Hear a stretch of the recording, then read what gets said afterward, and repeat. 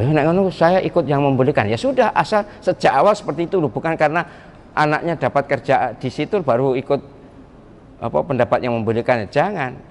Namanya mencela mencela. Ustaz, bagaimana hukumnya terpaksa kerja di bank? Kok terpaksa? Ini panjang pertanyaannya tapi tak ringkas gitu aja. Jadi ini ada anak, ada orang tua ya, orang tua punya anak, lah anaknya itu ngelamar pekerjaan ke mana-mana, ndak ada pekerjaan, kemudian terakhir diterima di bank, bank konvensional.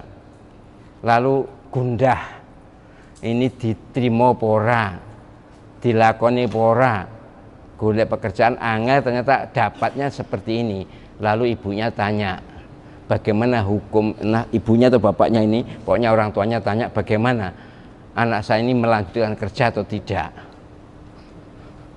Jawabnya ya mudah ya sebenarnya sudah pernah berulang kali saya jelaskan. Tergantung keyakinan penjenengan ikut yang mengharamkan bunga bank atau yang tidak mengharamkan. Kalau ikut yang mengharamkan bahwa bunga itu riba ya sudah ya tidak boleh kerja di bank karena bunga itu riba. Ya kerja di area riba kan jelas pada karo pembuat riba baik peribanya penulisnya saksinya dan sebagainya semuanya kena hukum dosa riba tapi kalau penjenengan meyakini atau ikut ulama yang tidak mengharamkan bunga artinya yang membedakan riba dengan bunga riba pasti haram, bunga diperselisihkan jika tidak mencekik, tidak menghilangkan tolong menolong, bukan bersifat perorangan, maka itu namanya bunga. Dan bukan riba, ya maka boleh. Tinggal penjelasan mantap mana? Eh, saya ikut yang membolehkan. Ya sudah, asal sejak awal seperti itu bukan karena anaknya dapat kerja di situ baru ikut apa pendapat yang membolehkan. Jangan. Namanya mencela mencela-mencela jangan jadi kalau penyiaran memang mantep ikut pendapat yang membedakan antara bunga dengan riba ya berarti kerja di bank boleh.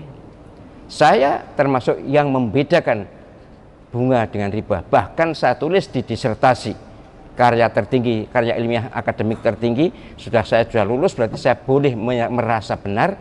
Dan orang yang berbeda dengan saya saya tetap saya hormati.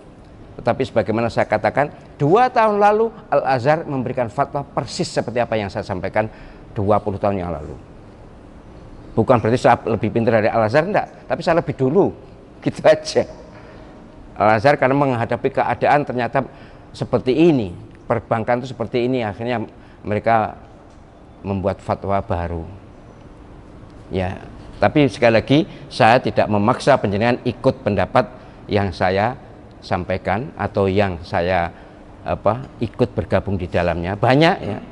Syekh Ali Jum'ah Mufti Mesir juga sama ya. Banyak pokoknya seluruh dunia ini banyak ulama dunia yang membolehkan. Kalau di Indonesia memang kurang populer sih. Ya. Gitu hukum kerja di bank sama dengan bagaimana hukum bunga menyikapi hukum bunga apa riba apa bunga